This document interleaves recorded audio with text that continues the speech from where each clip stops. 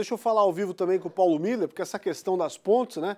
Muita gente quer saber, acho que todos nós, como é que fica a implantação do transporte marítimo. Poxa, seria uma ótima alternativa, né, Paulo?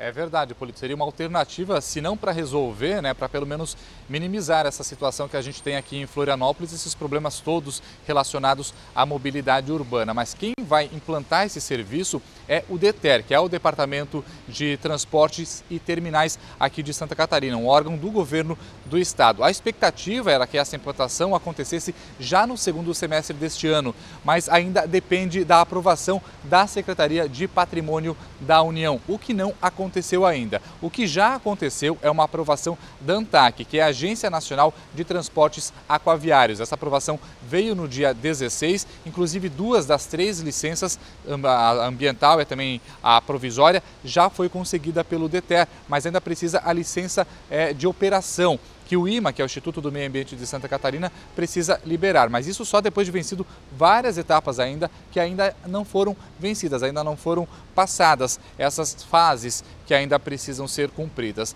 Em primeiro momento, né, esse transporte é, aquaviário, esse transporte marítimo seria entre Florianópolis e São José, quando já, inclusive em março, no dia 12 de março, teve um teste aqui na capital do estado e esse transporte pareceu ser bem sucedido. A travessia, que geralmente né, nesse trecho de São José e Florianópolis leva de carro em torno de uma hora a uma hora e meia, de barco levou 12 minutos, o que mostra que há viabilidade sim desse sistema. O que ainda está sendo discutido também é a viabilidade econômica. Isso para fazer esse trajeto custaria em torno de 9 e 10 reais. Alguns especialistas acham um pouco caro esse valor. Tanto é que a gente conversou hoje pela manhã com o secretário de Mobilidade Urbana de Florianópolis e também com a Floripa Amanhã, que tem visões, e com a Floripa Amanhã, desculpa, e com a, o Observatório de Mobilidade Urbana eh, lá da Universidade Federal de Santa Catarina.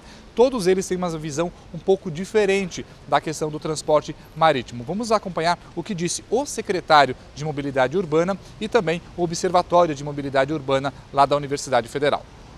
Esse ano houve a primeira licença, a licença ambiental provisória, os estudos estão sendo feitos por parte do Estado e vai, né, claro, a, caber a cada município fazer a sua parte na construção de um trapiche adequado para recebimento do transporte marítimo interligado com o transporte coletivo por superfície.